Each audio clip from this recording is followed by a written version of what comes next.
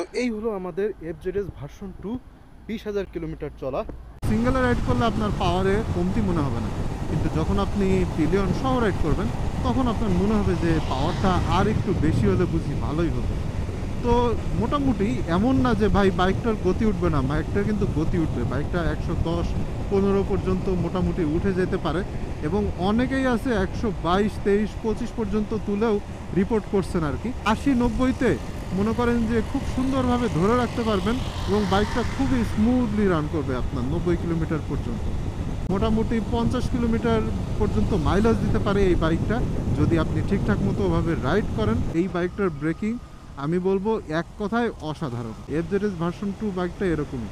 যে এই বাইক থেকে যখন আপনি সুইচ করবেন, কিছু না কিছু একটা আপনাকে ছাড় দিতেই হবে।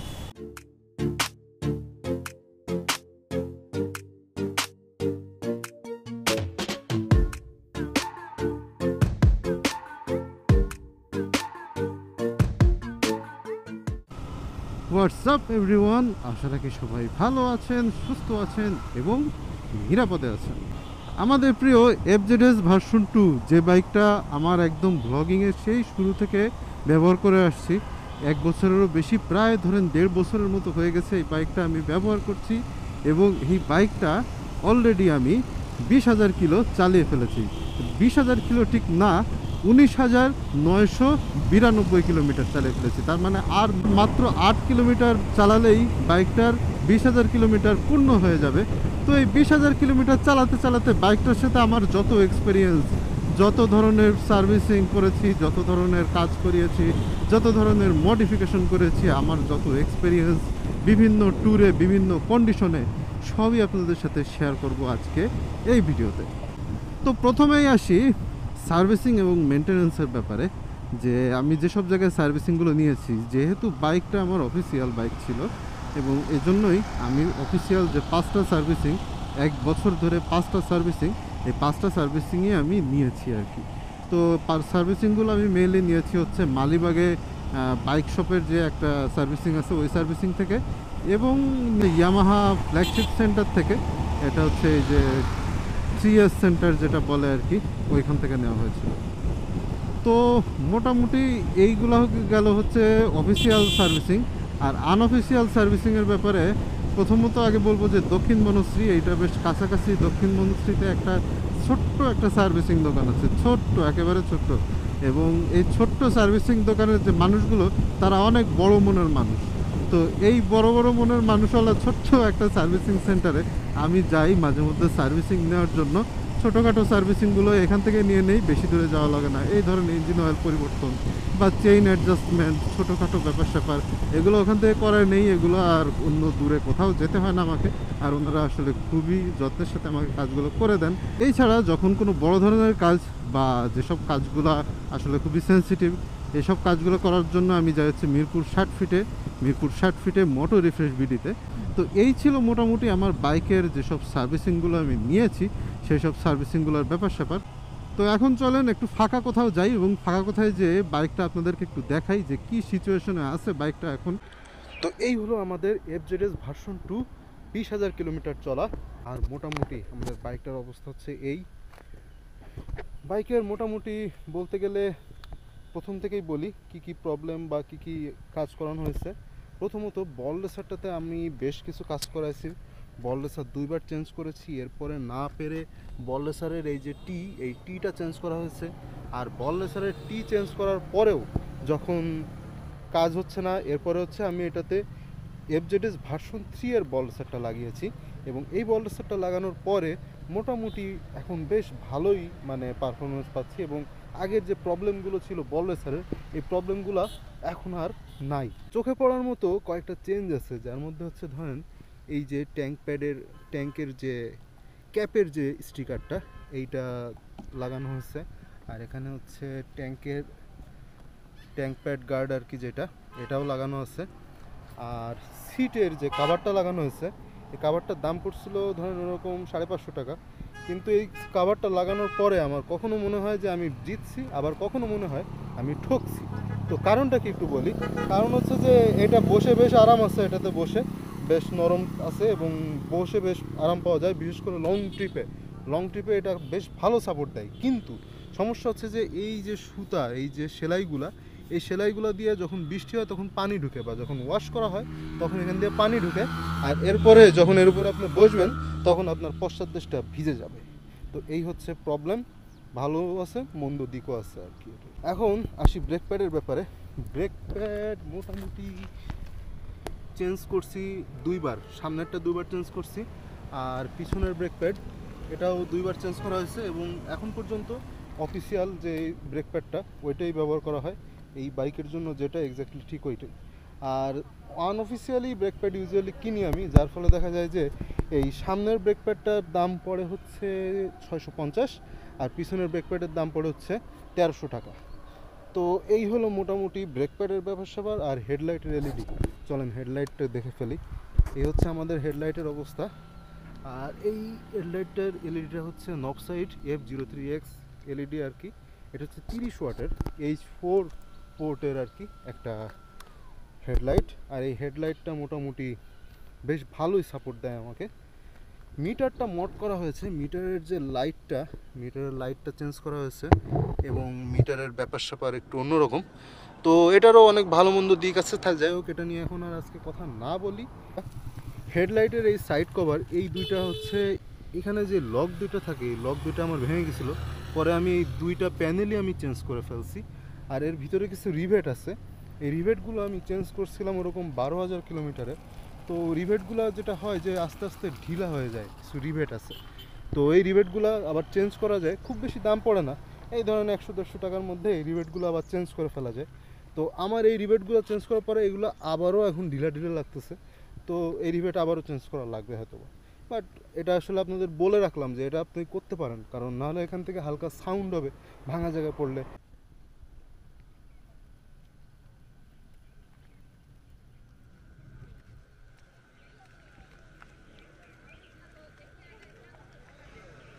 ফুয়েল ইন্ডিকেটরে মাঝে মধ্যে প্রবলেম করে। তো প্রবলেমগুলো হচ্ছে এরকম যে মানে ফুয়েল কমে গেলেও এখানে কম দেখায় মানে ফুয়েল বেশি দেখায় অ্যাকচুয়ালি ফুয়েল কমে যায়, কিন্তু টের পাওয়া যায় না যে, এখানে ফুয়েলটা কম হয়ে গেছে। তো এই ধরনের প্রবলেমের মেইন রিজনটা হচ্ছে এটার ভিতরে যেই পাম্পটা থাকে পাম্পের মধ্যে আসলে ময়লা জমে যায়। অ্যাকচুয়ালি আমাদের ফুয়েল কন্ডিশনই নাকি এটার জন্য দায়ী, এটাই সবাই বলে। তো এটা ক্লিন করলে এটা ঠিক হয়ে যায়। আমার বারো হাজার কিলোমিটারে এরকম একবার প্রবলেম হয়েছিল। আবার সাড়ে আঠেরো হাজার কিলোমিটারে থাকতে আরও একবার হয়েছিল। দুইবারই ওয়াশ করানোর পরে ব্যাপারটা ঠিক হয়ে গেছে। হ্যান্ডেল বারে এখানটাতে হচ্ছে চাবির ঘষা খেয়ে খেয়ে বেশ কিছু দাগ পড়ে গিয়েছিল। তো এই জন্য হ্যান্ডেল বারের এইসব জায়গায় যে দাগগুলো পড়ছিল এটা ঢাকার জন্য এর উপরে সুন্দর করে একটা কার্বন ফাইবার স্টিকার দিয়ে দেওয়া হয়েছে। আর একই সাথে এখন আর আমি চাবির রিং ব্যবহার করি না এখানে। আলাদাভাবে কোনো এক্সট্রা কিছু থাকেও না। যার ফলে এই জায়গাটা এখন বেশ সুন্দর আছে বেশ। কিন্তু আগে দেখতে আসলে খুব বাজে লাগতো আর কি বলতে গেলে। এছাড়া সাসপেনশন ফোর্ক সাসপেনশন ফোর্কে মোটামুটি বেশ ভালোই সাপোর্ট দেয়। এটা আমি হচ্ছে একবার কাজ করে নিয়েছি। আমার হচ্ছে পনেরো হাজার থাকতে এই সাসপেনশন ফোর্কের এই পাশেরটা, ডান পাশেরটা এটা ফেটে গিয়েছিল। তো এটা তখন হচ্ছে দুইটাই কাজ করানো হয়েছে একসাথে এবং এটা কাজ করানোর পরে এত স্মুথ চলে, আসলে বল আর বাইরে। মানে আনবিলিভেবল একটা পারফরমেন্স এটা থেকে পাওয়া যায়। ইঞ্জিনের মধ্যে মেইনলি কাজ যেটা হয়েছিল যে আমাদের এই ইঞ্জিনের ভিতরে যে গিয়ার শিফটিংটা থাকে গিয়ার শিফটারের একটা স্প্রিং ভেঙে গিয়েছিল এবং এটা আমি টের পাচ্ছিলাম না। তো এই গিয়ার শিফটারের মোটামুটি ব্যাপার স্যাপার যেটা, এটা আমি বুঝি নাই।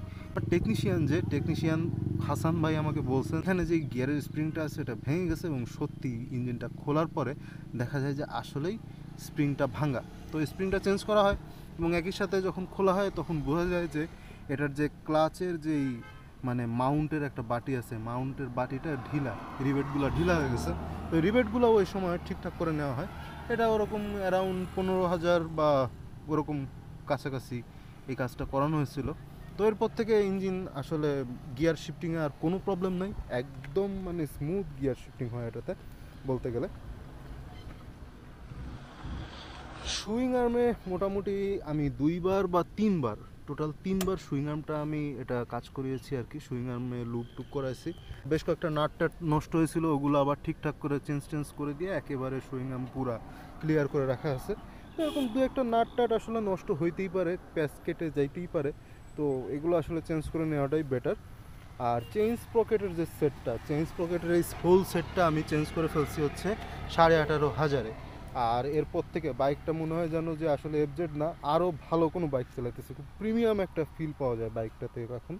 সব কিছু মোটামুটি বলছি। আর এর বাইরে আসলে তেমন কিছু আর বলতে পারতেছি না। তো চলেন তাহলে, এখন আমরা একটু রাইডিং ফিডব্যাকের দিকে এবার যাই। আর বাইকটা মোটামুটি এইটাই। সেই লাগতেছে। আরে কুকুর, তুমি কই যাও কই যাও? আরে ভয় পাইছো। তো এখন আসি এই এফ ভার্সন টু বাইকটা বিশ হাজার চালানোর পরে আমার রিভিউ বা ফিডব্যাক কি? এই ফিডব্যাকগুলো আপনাদেরকে জানাই। প্রথমত আসি রাতে রাইডিংয়ের ব্যাপারে। যেহেতু আমরা এখন রাতে রাইড করতেছি, রাতে রাইডিংয়ের জন্য এর যে হেডলাইটটা আমি ব্যবহার করেছি এ Novsight F zero three X এই হেডলাইটটা রাত্রেবেলা খুবই সুন্দর একটা ভিজুয়াল দেয়। রাত্রেবেলা রাইডিংয়ের ক্ষেত্রে সবচেয়ে বড় ব্যাপার হচ্ছে ভিজুয়াল আপনার ভিজুয়াল ঠিক থাকতে হবে। আর এরকম অন্ধকার সিচুয়েশনে যদি আপনি কিছুই না দেখতে পান, তাহলে কীভাবে চলবে?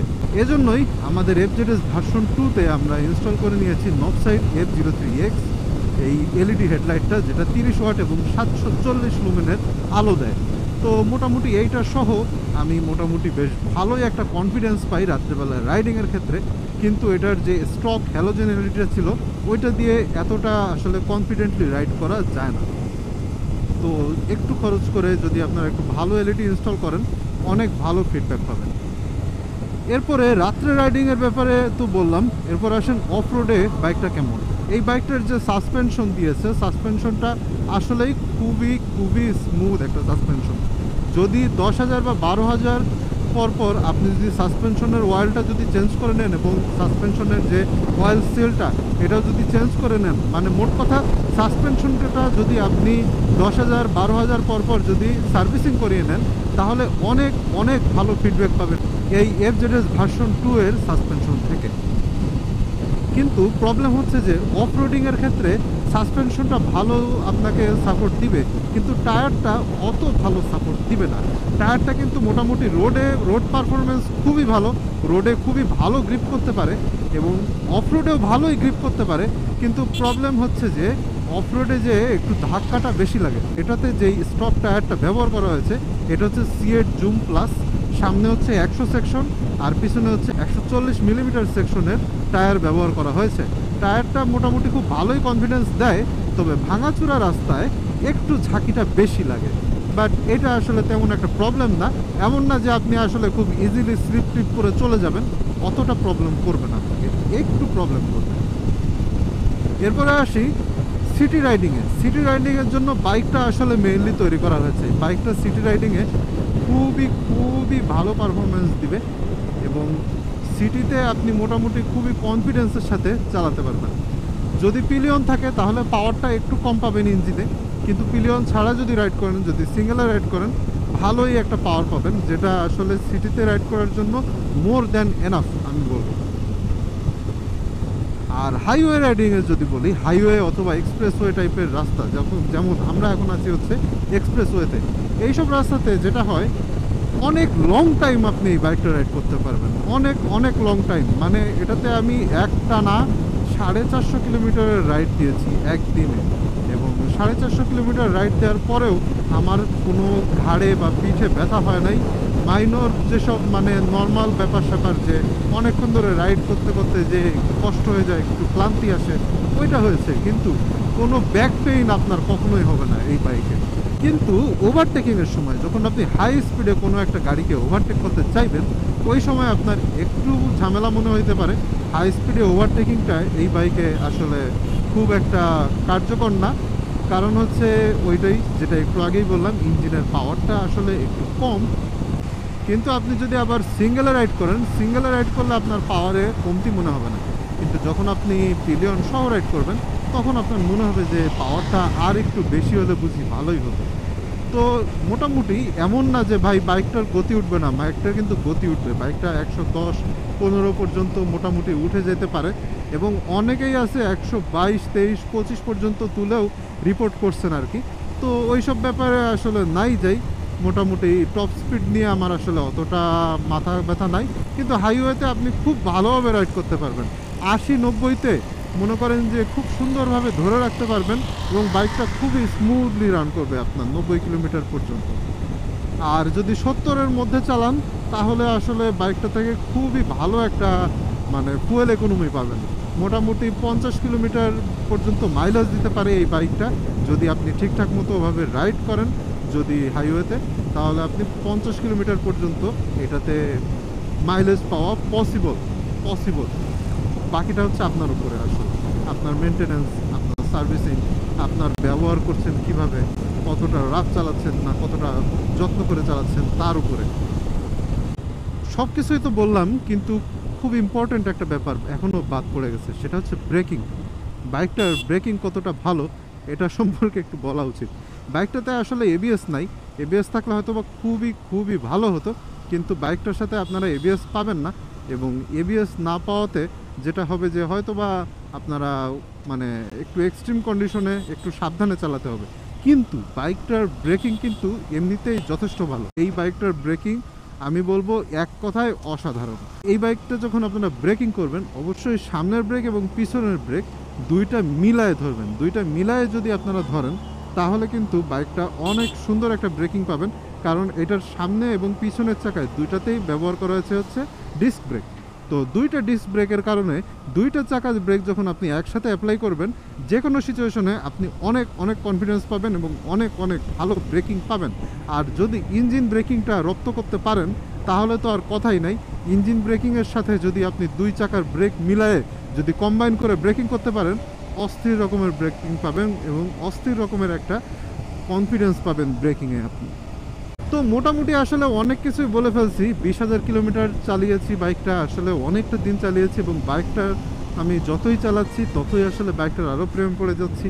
আসলে বাইকটা ব্যবহার করতে করতে আসলে আমার সাথে বলতে গেলে একরকম সেট হয়ে গেছে আসলে। বাইকটার সাথে আমি একেবারে ওতপ্রোতভাবে সেট হয়ে গেছি বলতে গেলে। তো বাইকটা যে আসলে কখনোই মনে হয় না যে এই বাইকটা চেঞ্জ করে অন্য একটা বাইক নিব, কারণ এত আরামের একটা বাইক আসলে কি বলব? মোটামুটি আমি যেটা চিন্তা করে থাকি যে এই বাইকটা যদি, এই বাইকটা যদি আমি সেল করে দিই বা এই বাইকটা থাকার পাশাপাশি যদি আমি অন্য আরেকটা বাইক যদি কিনতে চাই তাহলে কোন বাইকটা কিনবো? হয়তো বা আমি এমটি ফিফটিন কিনতে পারি, কারণ এই বাইকটার যেই জায়গাটা ল্যাকিং সেটা হচ্ছে পাওয়ার এমটি ফিফটিনের পাওয়ারটা অনেক ভালো এবং MT fifteen R one five এগুলো তো সব একই ইঞ্জিন মোটামুটি বলতে গেলে। আর একই সাথে এমটি ফিফটিনের সিঙ্গেল চ্যানেল এবিএসও আছে, যেটা আসলে আরও বেটার সেফটি দিবে আমাকে। তো সব মিলায়ে আমি আসলে যেটা ভাবি, সেটা হচ্ছে যে যদি এই বাইকটা চেঞ্জ করে কেউ যদি আরেকটু বেটার বাইকে আপগ্রেড করতে চান, তাহলে এমটি ফিফটিন আসলে একটা খুব ভালো একটা আপগ্রেড হতে পারে। যদিও এমটি ফিফটিনে আসলে এই বাইকের মতো এত সুন্দর আপনি কমফোর্ট পাবেন না। কমফোর্টটা হয়তো বা একটু কমে যাবে। আপনার পিলিয়ন কমফোর্টটাও কিন্তু এমটি ফিফটিনে কমে যাবে। এফজেডএস ভার্সন টু আসলে এফজেডএস ভার্সন টুই মানে এইটার ব্যাপার স্যাপার অন্য কোনো সাথে মিল হবে না। যখন আপনি কোনো একটা অন্য বাইকে যাবেন, কিছু না কিছু আপনাকে ছাড় দিতেই হবে। এফজেডএস ভার্সন টু বাইকটা এরকমই। যে এই বাইক থেকে যখন আপনি সুইচ করবেন, কিছু না কিছু একটা আপনাকে ছাড় দিতেই হবে। এবং এই ছাড়ের মধ্যে সবার আগে যেটা আসে সেটা হচ্ছে কমফোর্ট এই বাইকটার কমফোর্ট আসলে মাথা নষ্ট কমফোর্ট যে আপনি সিটিতেই চালান, আর হাইওয়েতেই চালান, আর যেখানেই চালান। হ্যাঁ অফ রোডে আপনাকে হয়তো বা একটু জার্কিংয়ে চালাবে, কিন্তু আসলে এটা আসলে তো অফ রোড বাইক না আসলে, সত্যি কথা বলতে। তারপরও যদি কেউ অফরোডিং করতে চান এই বাইকটা দিয়ে, আমি বলব সেক্ষেত্রে একটা ডুয়াল পারপাস টায়ার যদি নিয়ে নেন তাহলে আপনি অফরোডিংয়েও এই বাইকটা দিয়ে অনেক অনেক কমফোর্ট পাবেন। তো কথা বলতে বলতে, পথ চলতে চলতে পূর্বাচল থেকে আমরা চলে এসেছি এয়ারপোর্ট রোডে তো এয়ারপোর্টে যেহেতু চলে আসছি, এদিক থেকে আসলে একটু উত্তরা হয়ে ঘুরে তারপরে যাব। কিন্তু ব্লগটা আসলে আর বড় করতে চাচ্ছি না, কারণ রিভিউতে আসলে আর এর বেশি কিছু বলার নাই আমার। তো ভিডিওটা যদি ভালো লেগে থাকে তাহলে অবশ্যই অবশ্যই একটা লাইক দিয়ে দিবেন আর চ্যানেলে চ্যানেলে যদি এখনও সাবস্ক্রাইব করে না থাকেন, তাহলে সাবস্ক্রাইব করে হয়ে যাবেন আমাদের মেম্বার সবাই ভালো থাকবেন, সুস্থ থাকবেন এবং মোস্ট ইম্পর্টেন্টলি সেফটি রাইড করবেন। Bye bye